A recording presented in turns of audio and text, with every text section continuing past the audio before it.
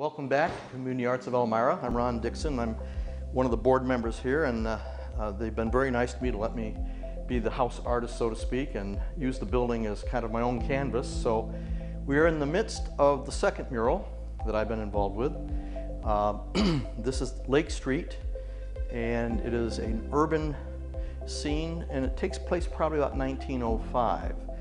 Um, this started out as a small painting uh, from a postcard, and it, it got bigger and bigger, as many projects do, and so I decided to do the same trompe-l'oeil technique that I used in the previous mural, and the idea being that you are part of the scene, that you can feel you can walk into it. The perspective is what we call severe one point, but I've raised the horizon line so that you are up high on Lake Street Bridge looking down onto the street with a descending plane.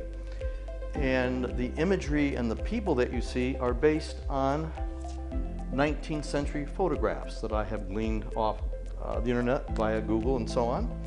Most of the figures are people photographed during the Edwardian era, uh, mostly in Europe uh, by photographers like Atget, for example.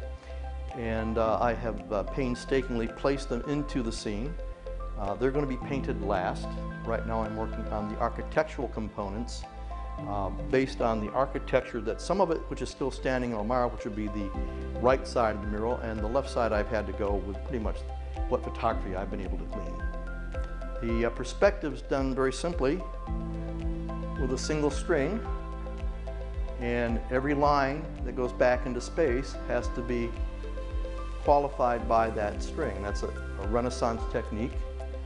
Uh, you'll find this in Da Vinci's Last Supper, Raphael's School of Athens, and again, the illusion is diminishing space that makes the wall disappear.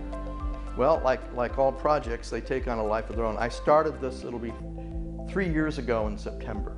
Uh, the drawings took me approximately a year, year and a half, and I worked on it about a day a week. Of course, COVID did cut into my time, uh, but I try to get a day a week in, and uh, obviously, this is where I'm at at this point. I'm thinking I'll probably have this completed by Christmas. That's my, my goal, my hope, okay? I'm working on the last building here on the left, and once I get this all attenuated, uh, the people will be next.